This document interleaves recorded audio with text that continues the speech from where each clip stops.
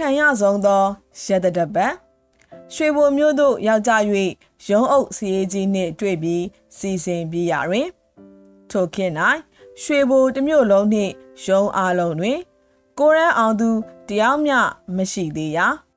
အခုစရေးများလောက်ဖြစ်ဖို့မှာအခက်အခဲမရှိမျက်နာပင်ရခဲ့သေး၏ကျွန်ုပ်၏တင်မာတွင်သွေးဆုနာကြီးချက်ချင်းပေါက်လာ၍လမ်းပင်မလျှောက်နိုင်ပဲရှိသည်နှင့် ဝက်လက်သို့လိုက်လာရပြန်သည်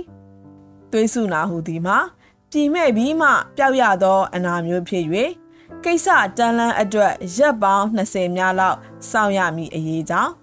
ကျွန်ုပ်အဖို့ရ၌ငရဲပြီးပို့ထားသည်နှင့်စိတ်ဆင်းရဲခဲ့ရပါသည်ဤရရေးတွင်ကျွန်ုပ်ဖခင်ကတော်ရှာပါပေသည်မန္တလေးမှသတင်းကို နားထောင်၍ စန်တေဝီတို့သားမိပြန်ရောက်ပြီးဟုကြားသိရသည်နှင့်တပြိုင်နက်ချက်ချင်းဆင်း၍ပြောရာလက်ခံလိုက်သည်ဆိုသောကြောင့်ကျွန်ုပ်ဝမ်းသာရသည်ကျွန်ုပ်ဝမ်းသာလာသည်တို့ရာတွင်ပြည်မဲ့ဖို့ရာရတတပတ်ခန့်လိုသေးသောကြောင့်ကျွန်ုပ်ဤတသက်တာတွင်အခန့်ရအခက်ဆုံးသောရတတပတ်ဟူ၍မှတ်တမ်းတင်ထားရပါသည်